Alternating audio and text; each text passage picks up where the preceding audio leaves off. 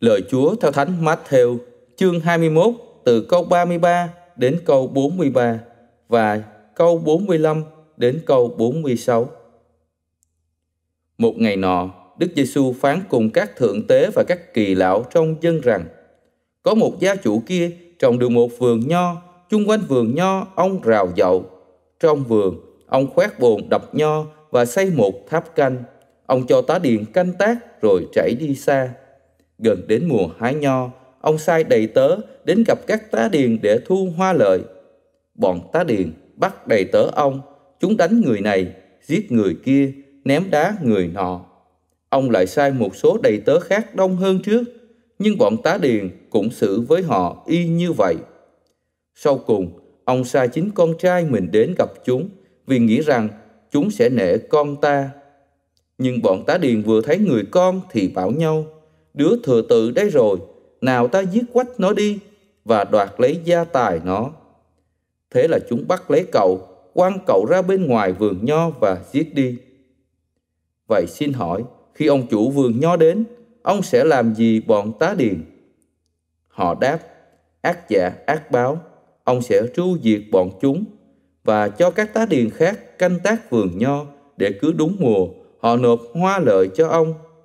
Đức Giêsu bảo họ, các ông chưa bao giờ đọc câu này trong Kinh Thánh sao?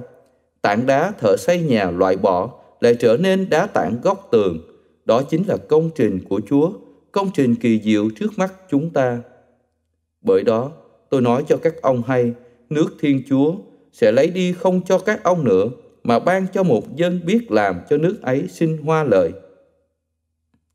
Nghe những dụ ngôn người kể, các thượng tế và người Pharisêu hiểu là người nói về họ.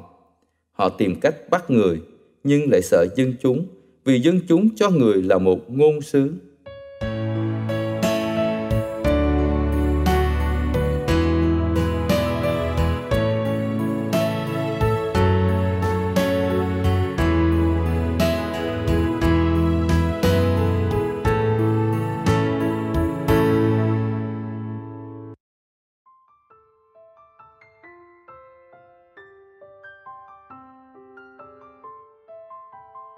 Quý vị và các bạn thân mến, qua trang tin mừng chúng ta vừa nghe, Thánh Luca tường thuật cho chúng ta biết cuộc ứng khẩu giữa Chúa Giêsu và các thượng tế và người Pharisêu.